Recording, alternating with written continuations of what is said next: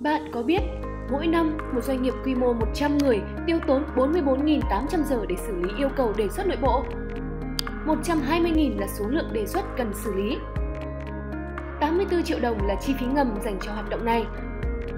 Và một trưởng phòng, giám đốc, CEO phải xử lý đến 50 đề xuất mỗi ngày. Trong khi đó, công cụ chủ yếu vẫn là tờ trình, email, tin nhắn và những cuộc điện thoại. Những cách làm thủ công mang đến rất nhiều bất cập. Quản lý thì mệt mỏi vì hàng tá tài liệu chờ ký, mọi thứ lại càng trì trệ nếu họ không có mặt ở văn phòng. Nhân viên mất nhiều thời gian chờ việc xử lý thủ tục hành chính, giảm năng suất lao động.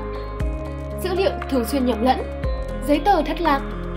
Nghiêm trọng hơn, công việc bị xử lý chậm trễ có thể khiến doanh nghiệp phải trả giá bằng lợi nhuận. Nhưng đừng quá hoang mang, vì đã có Base Request, ứng dụng xử lý yêu cầu đề xuất nội bộ. Với Base Request, bạn có thể tạo ngay thông tin đề xuất dựa trên các form mẫu có sẵn với các trường thông tin linh hoạt. Không cần chạy qua từng phòng ban để xin chữ ký hay nộp chứng từ. Vì Base Request sẽ cài đặt giúp bạn, người xét duyệt, người theo dõi và gửi tài liệu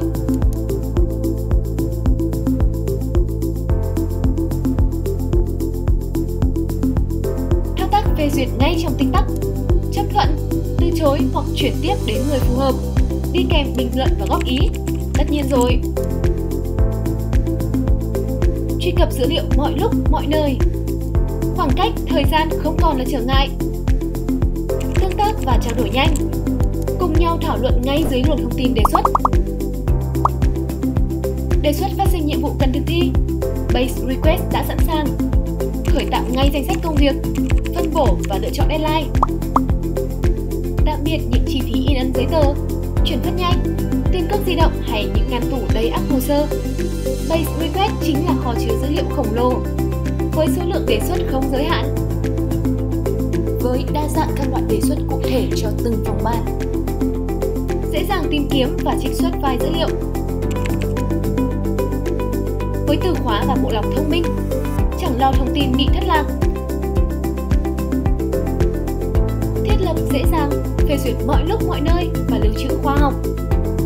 Ứng dụng Base Request số hóa mọi yêu cầu đề xuất trong doanh nghiệp, giảm thiểu tới 90% thời gian làm việc.